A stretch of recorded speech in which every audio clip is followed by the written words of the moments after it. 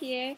I'm here to tell you about our experiment that we designed for um, osmosis.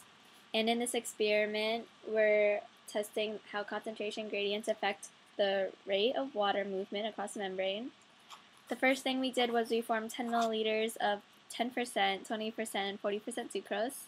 We then placed this in dialysis tubing, which is essentially the cell membrane in this experiment. We put um, the dialysis tubing with sucrose and water into a 200 milliliter beaker of water, which is our outside environment for the cell. And we then weighed before and after we placed it in the beaker for 10 minutes. And that's how we know how much osmosis occurred within that time period. And I'll show you the video that's coming up next of um, clips of our experiment.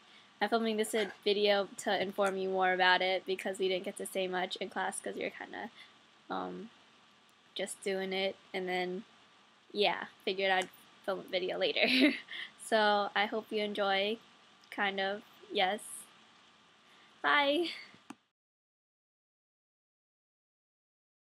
We're diluting it to be 10% from 40% sucrose.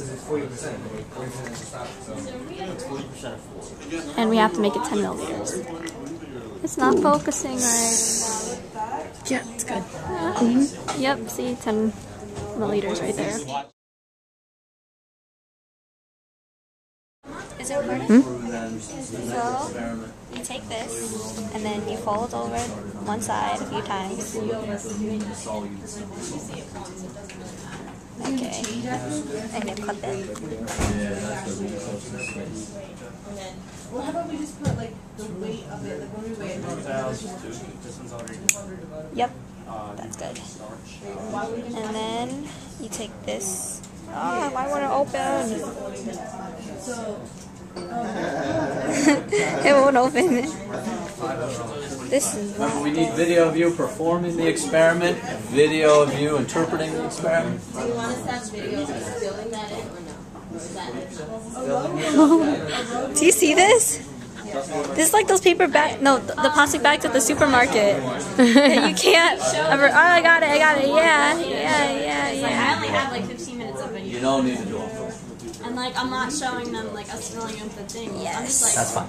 I'm taking pictures of The biggest thing I think is the interpretation part. I'd like you to talk about that. What's happening, why it's happening.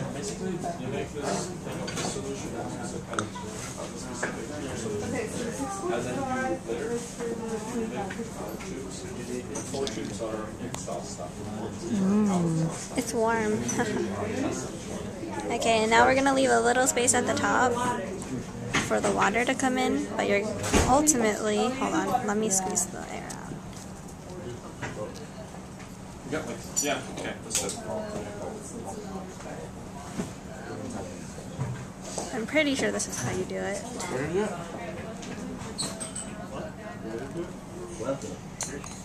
This air bubble is bothering me. Okay.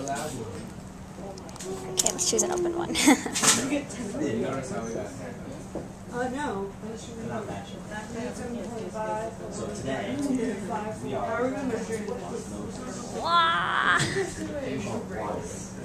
okay.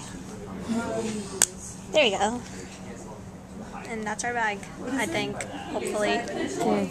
Now we're gonna put them into 200 milliliters of water.